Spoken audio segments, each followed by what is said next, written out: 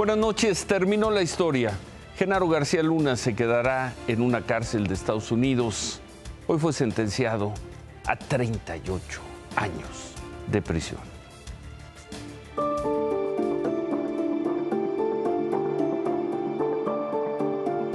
Dos horas antes del inicio de la audiencia, la familia y la defensa de Genaro García Luna llegaron a la cita definitiva.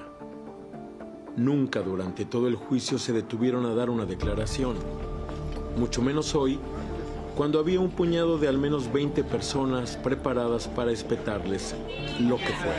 ¡Justicia! ¡Justicia! ¡Eres tú, Felipe Calderón! ¡Es culpable! Puertas adentro, donde las cámaras ya no entran, la sentencia en contra del ex secretario de Seguridad Federal se desahogó en poco más de una hora. Y todos hablaron, la defensa, el acusado, la fiscal y el juez.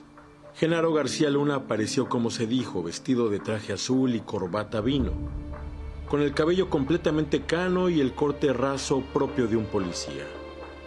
Su apariencia física es prácticamente la misma, de febrero de 2023, cuando se presentó por última vez ante un tribunal. El abogado César de Castro, su defensor, fue el primero en tomar la palabra. Y sí, defendió de pie la sentencia mínima para su cliente. Veinte años de cárcel son suficientes para un hombre que lo ha perdido todo, le dijo al juez. Luego García Luna tomó la palabra. Es la primera vez que hablo públicamente de mi caso. Refrendo a mi familia y a mi país que yo no cometí esos crímenes. Como en la última carta que envió al juez Brian Cogan, la de ayer, él insistió en su inocencia y habló de valores, de su familia. Nunca he sido una amenaza o riesgo para la comunidad. Le solicito respetuosamente me permita regresar con mi familia. Pero la defensa que Genaro García hizo de su propia persona fue la confirmación de la sentencia para el juez Cogan, quien en 15 minutos reflexionó sobre la doble vida que asegura tiene García Luna. Usted tiene una doble vida.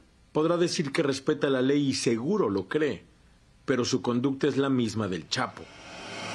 Kogan se adentró a lo que podría decirse es su conocimiento de las mentes criminales que han pasado por la corte, de sus laberintos.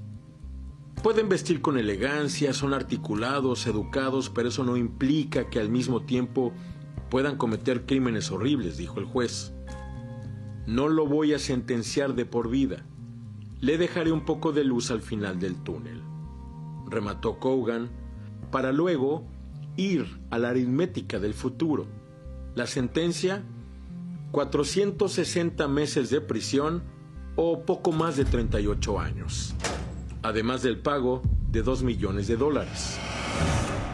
We disagree with his belief that Genaro Garcia Luna was living a double life. He was living a single life.